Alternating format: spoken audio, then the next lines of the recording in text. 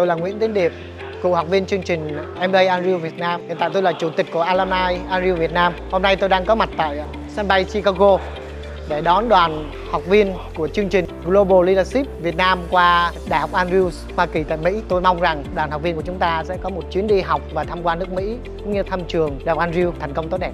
À, chúng ta vừa vừa đón xong ờ, cái đoàn bay từ Hồ Chí Minh và Hà Nội. Chúng ta sẽ ờ, khám phá cái hành trình tại ờ, Michigan bắt đầu.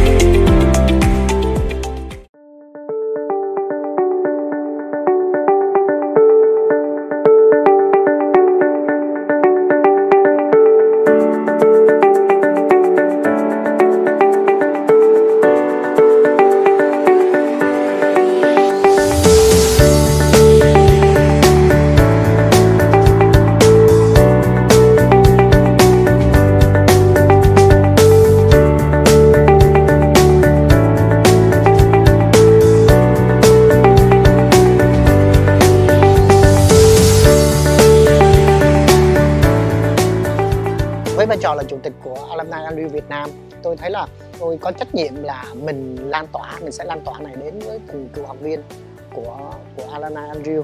bên cạnh đó thì mình cũng là một người trải nghiệm tiên phong thì khi đó mình về mình chia sẻ nó với đúng với cái mình gì đã trải nghiệm.